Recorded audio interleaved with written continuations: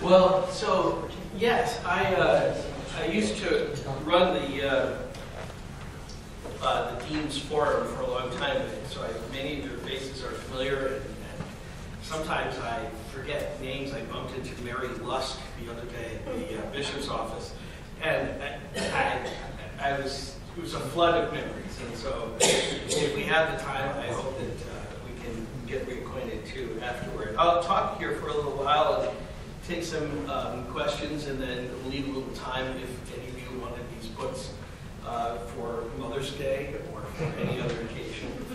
Um, uh, let me give you a little bit about me for those of you who don't have any idea. I, uh, my name is Ian Punnett. I moved here in 2001. I was just, I had about a year left on um, my seminary experience at Columbia Theological Seminary in Atlanta, where I knew Spencer Simmel. When I moved up here, um, I, I really was drawn to the Episcopal Church. I was drawn away from the Presbyterian Church, really on issues of sexuality. I, I just kind of wanted to be in a church that was and, and you know, for better or for worse, it made that call and was sticking with it, and I respected that. And the Presbyterian Church was not. Uh, and I just thought it was just really, I thought it was interesting, and I liked the higher uh, sacramental life of the Episcopal Church. And so everything about it was a good fit for me. Um, I was uh, brought on to um, work with adult ed here, and then eventually, as I was in formation uh, with the church, um, I, I took over the dean's forums, and I did that for about two two years. And just like when I was here, um, I always knew that God loved me when I could get a parking space uh, at St. Mark's. So Not very often. God sometimes doesn't love you, but today uh, it, it was nice to get here early enough to get a space on the first floor. So, um, but even while I was here, I had already begun. I had already begun to do uh, work on this book, uh, How to Pray When You're Pissed at God. The, the story of it is that when I was in seminary, I took, um, uh, I was in an Old Testament theology class with a, a fairly well known, um, nationally respected, voluminously published uh, uh, professor named Dr. Walter Brueggemann. And Dr. Brueggemann um, made a comment once when we were talking about uh, the Psalms. And we were going through the categories of Psalms. And as you, many of you know, uh, you know, there's your praise Psalms, which are all about, oh God, you're so wonderful and everything's so great and it's perfect and it's a perfect world and you're the king of it. And then there are the kingly Psalms, which are, oh, you are such a great king.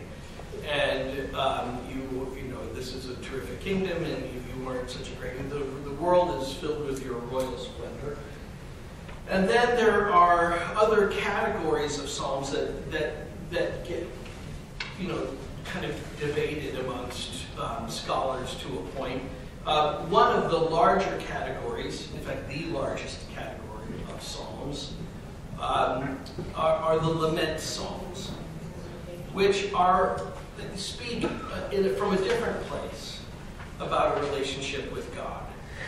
As a subcategory of lament songs, uh, there's something called the curse psalms, or deprecatory psalms, as some people call it. And those psalms are very angry indeed. Now, even the lament psalms, I think, um, are often miscategorized.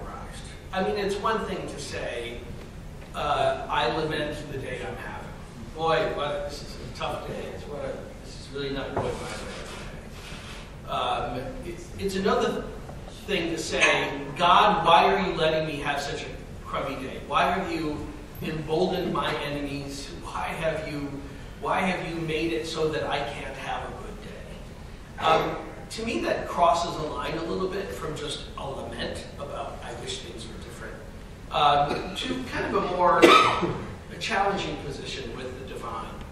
And and what Dr. Brueggemann said in, in that class that day stuck with me, and this would have been 1999 or something before I came here. Uh, and he, he said um, that these are some prayers by some pretty pissed off and if you really look at the cursed psalms and even many of the lament psalms, you see that flavor in there. This is, there's a lot of a lot of anger is laced in these psalms. Uh, it may not be the dominant theme, and maybe they end happily, or maybe there's another theme in there about praise, but the, the anger piece is, is not insignificant. So I, I was sort of struck by that, and I, it, it, spoke to something that I had carried with me for many years, which was uh, the Poseidon Adventure. remember the Poseidon Adventure? Yeah. Remember? Remember the, the original movie? Uh, there's some distinct characteristics of the Poseidon Adventure. It was really the first disaster movie about this boat that gets turned upside down and and the people that have to survive by climbing up to try to get out. Um, and, and there is, you know, there's a star-studded cast of in this disaster genre, which also is, kind of establishes this uh, um, this new vehicle for for Hollywood. Uh, but there was also the fact that other than the some really terrible overacting, which if you haven't seen it lately, is the uh, the scene where uh, Shelley Winters dies. this, this side of Daffy Duck being shot. it's so. it's so. But that having been said, there was there was also this this wonderful piece, this part that was written for Gene Hackman as the uh, renegade uh, a renegade a guy who had been sort of it was sort of ambiguous. He'd been of defrocked or something, but he was still he was on his way to serve as a missionary in Africa. And but he he has this relationship with God, which can only be described from even from the beginning of the movie as contentious. And as the plot developed, uh, Gene Hackman's character becomes increasingly uh, more angry with God.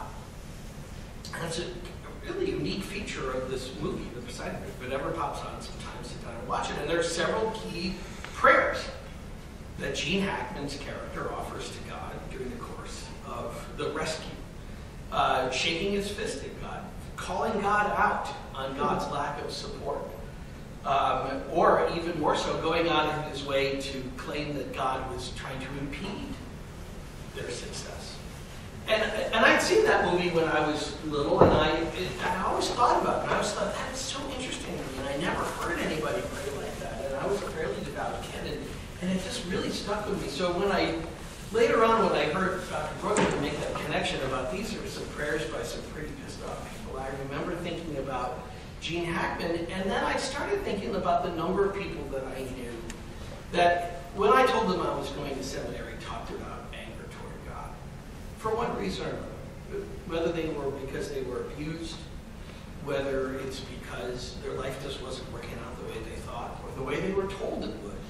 That if they go to church and they, you know, they follow this path and they walk that line, that good things will happen. And it says so right there in the Psalms, and it says so right there in the Bible. And, and, and it also says it won't, but, you know, churches don't often pray or preach from that standpoint that, hey, it may not you know, we, we mostly take the positive tact.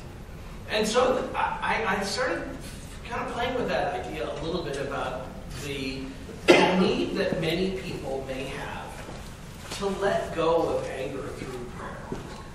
And whether or not there isn't a psychological component to these prayers, where after having expressed anger toward God, the people feel better for praying Bottom line, they feel better. And you could almost see it in every one of the angriest psalms. Is that they there's a lot of things that are said. There's a lot of ways that people call out God. And then at the end, there seems to be a reaffirmation of thank you. So that praise piece comes at the very end.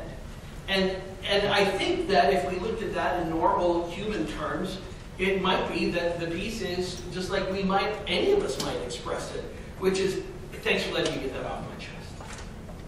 I had a lot of, I was doing some serious venting. Can I get you some coffee? You know, I mean, there was a sense of, of relief, of release. So I, I, I took that with me when I was doing uh, work as a chaplain intern. And like a lot of people who are going through the ordination process, um, I, I, did, I did a rotation as a chaplain intern in Atlanta, and then I did one more when I came up here. I did it on my own up here at uh, United in St. Paul. And this time, I, when I was doing them, I was becoming really, I was very focused on what is the role of angry prayer in that type of recovery. How could this help? So I started doing something actively to decode some of these very angry psalms. Uh, and that is when I would meet with somebody who was in a hospital room, uh, who was staring up at the ceiling or staring out the window, who was feeling contempt for family members or feeling great disappointment that why am I the one laying here when these people run around the street shooting people? How come I'm the one who gets cancer? How come I'm the one who's going through all these humiliations when, look, who's all the people in the news are politicians that are ripping off taxpayers or people who are in charge of, you know, corporations or whatever, and they felt, felt this just sense of great injustice. So I had tried at various times to, to take Psalms, especially angry Psalms, and read them with people while they were, um, while they were going through their experiences. What I found was is that not everybody could relate to what was in the psalm because of the vocabulary. For example, Psalm 22. It starts like this My God, my God, why have you forsaken? Why are you so far from helping me from the words of my groaning? Oh my God, I cry by day, but you do not answer, and by night, but find no rest. Uh, later in Psalm 22, the references start to get a little more cloudy. Many bulls encircle me Strong bulls of Bashan surround me. They open wide their mouths at me like a ravening and roaring lion. I am poured out like water, and all my bones are out of joint. My heart is like wax. It is melted within my breast. My mouth is dried up like a potsherd, and my tongue sticks to my jaws. You lay me in the dust of death. Now, that is a it's some wonderful poetry. But I think it's also fair to say that uh, some of the, there may have been a time when, oh, like the bulls of Bashan. You know what that means? but unless you have an, an annotated Bible, and even if you did, it doesn't really speak to what people were experiencing. So fairly early on, I started to experiment with rewriting the Psalms. And I was rewriting the Psalms, taking very specific references that people had made in their in our conversations and and putting those into the Psalms. So I, I, sat, I rounded off all of the sharp edges. And then just on an individual basis, I just started swapping out vocabulary. Here's an example of how I rewrote Psalm 22. My God, my God, why have you forsaken me? Why are you so far from helping me? Why don't you hear my pain? God, I cry out to you by day. Nothing happens. By night, silence. My parents and my ancestors believed in you and you helped them. I've heard the stories. So why not me? What did I do? My family has cried out to you and they were saved. Lots of people I know have trusted you, God, and you didn't let them down. So to you, I must be a worm and not a human, a non human, to be scorned and despised by you as I am by others. Because it's not like my faith is helping my social standing either, God. It feels like everybody who sees me just mocks me. They hurl insults because I'm so pathetic. And they shake their heads saying, This idiot believes in God. Let God help. If God exists, let God prove it by helping this loser. But since the day I was born, I have been yours. You made me trust in you even while I was nursing. From my mother's womb, you've been my God. So now, when I need you the most, why are you so far away? You know what this feels like? God, it's like I'm being chased down the street by some psycho guy in a scary truck, determined to run me over. Sweating and breathless and in fear for my life, I jump over a backyard fence to escape, only discover that I'm now surrounded by starving, snarling pit bulls. I'm trapped. Bite by bite, God, life is killing me. I'm spent, and physically I'm so exhausted that all my bones are out of joint. My heart has turned to wax and melted away within me. God, I need to be refreshed so badly. I need a streak of things to go right. Imagine me as a clay flower pot that has been smashed on a hot, sunny patio. No matter how much water you pour on those broken pieces, that pot cannot hold water anymore. That's me. My soul is parched. My, stung, my tongue sticks to the roof of my mouth. Like that broken pot, I've been laid down for a dusty death, baking in the hot sun, useless. Imagine that, God. The pit bulls are getting closer, their bites are going deeper, and that psycho guy in the truck is driving around the block faster and faster, looking for me, and I've got nothing in reserve. The dogs have now pierced my hands and my feet, and it feels like there is no way out. I am wasting away from my wounds, and I know that people can tell. They stare and whisper to themselves as I pass on the street, and I'm sure some people think it's funny that I deserve this somehow.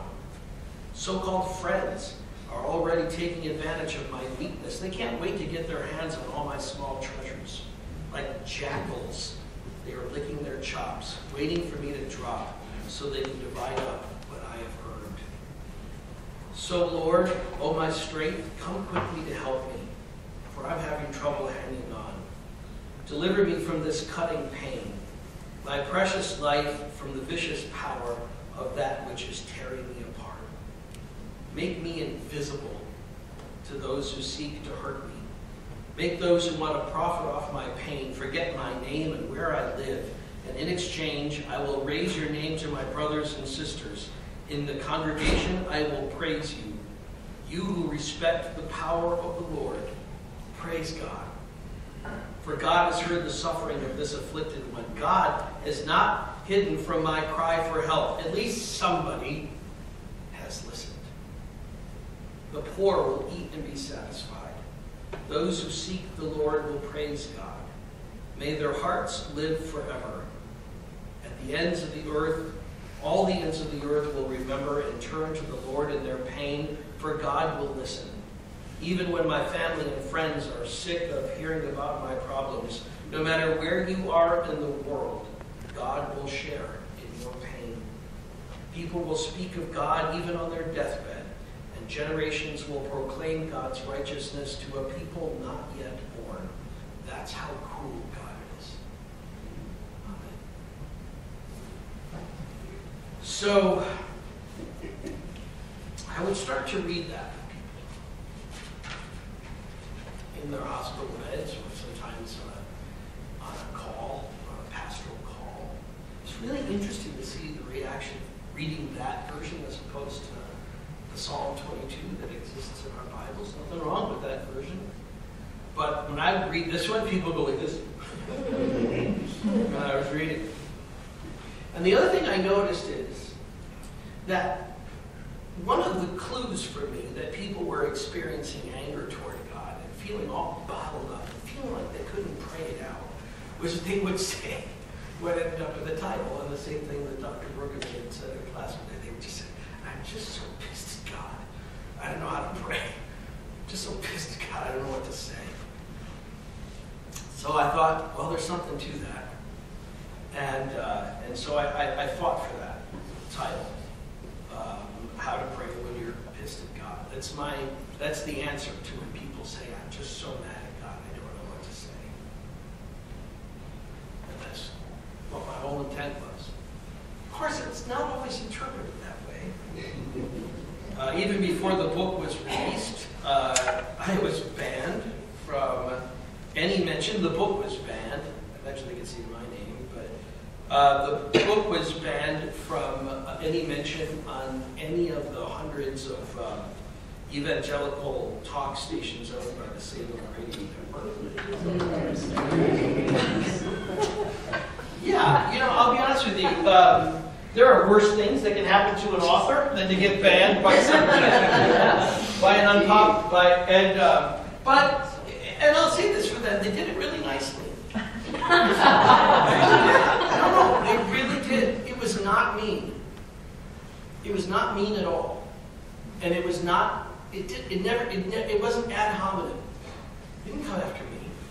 They just said we're uncomfortable with that word, and I get that. I get that. Um, and they're not alone. But to not use that word would have been, in my opinion, doing a disservice to the people that were really in pain.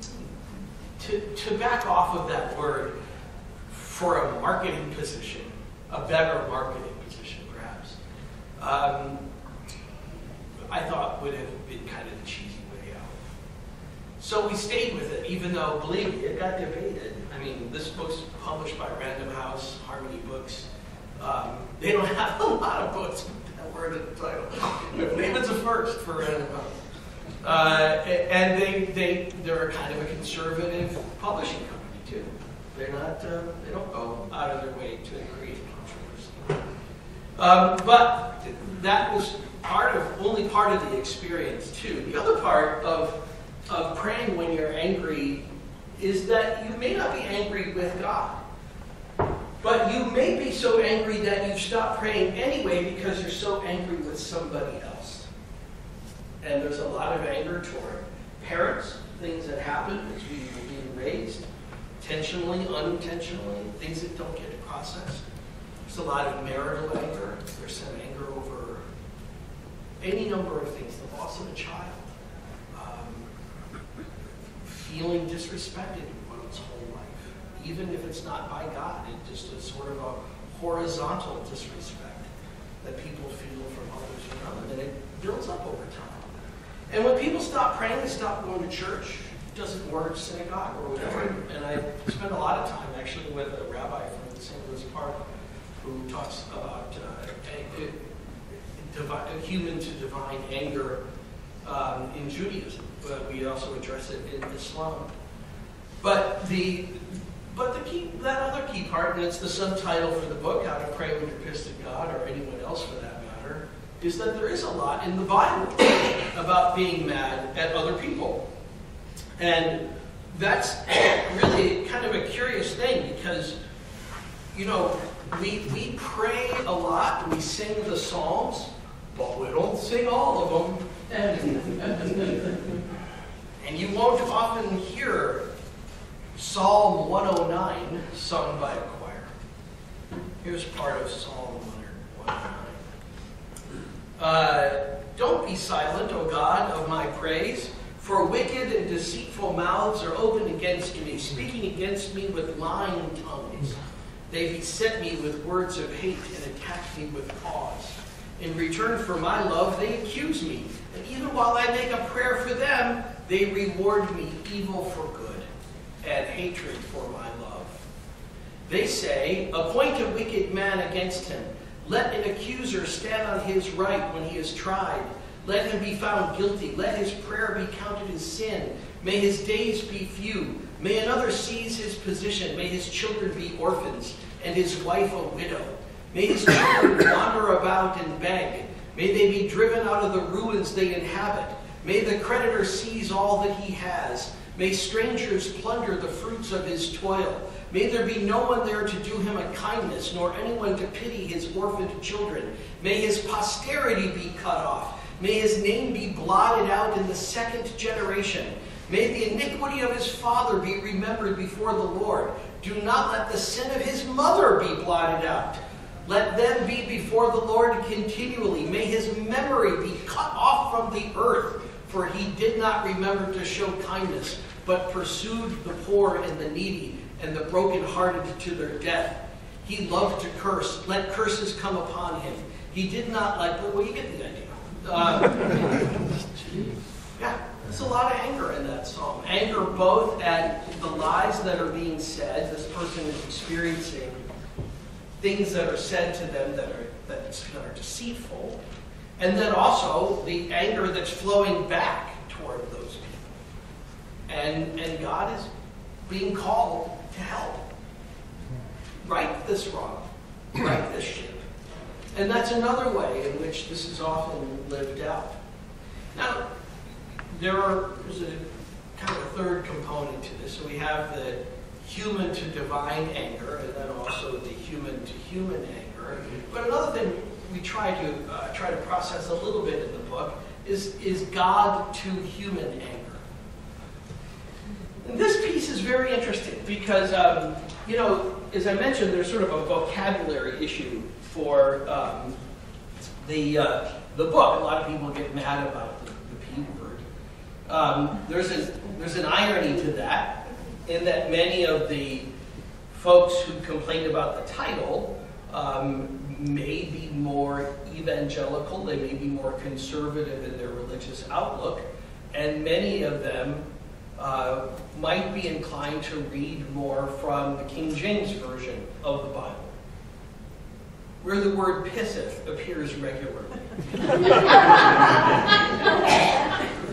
Maybe it's the F that is the uh, the saving syllable in that. Um, but yeah, the, there's a term. There's a there's a, a term in Hebrew.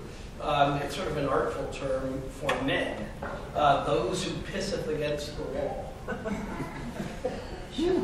kind of a long way. Kind of a long way to say guy, but but it's in there, and it's actually the Hebrew word for word. That's the Hebrew. Now, there, there are many things in the King James Version of the Bible that, um, that are not well translated from the original Hebrew or Greek. That is, our scholarship today on Hebrew and Greek is at a much higher level than it was when that was originally done in early 17th century, right? So you have um, but that is one, actually, that's exactly it, word for word what the Hebrew says. Today we don't. Today most Bibles round that out and they just say men. It's funny how, you know, even a, good, really solid translation, uh, you know, any of the ones you'll find, the NRV or anything, they, they don't use that term. Uh, but the, the original Bible does. Um, we can say the same thing too about um, about the, about other words. Jeremiah 3, uh, God uses a very particular Hebrew verb.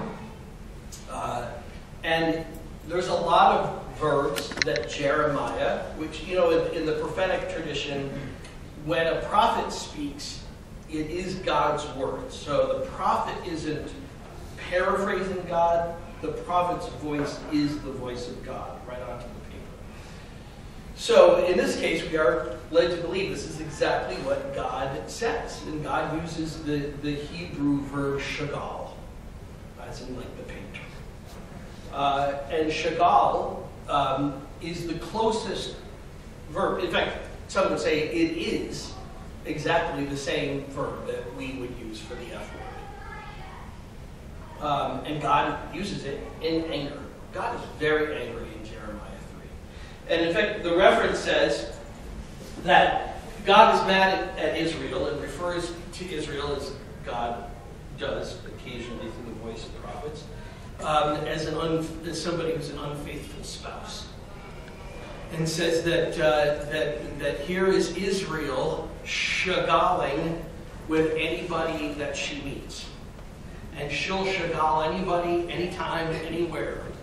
On the side of the road, Israel shagals with any passing God that happens to go. That's how unfaithful Israel is. It, there's a lot of words, there's a lot of other Hebrew verbs that Jeremiah could have used um, to express that. I mean, you can say, you could have said laid down with.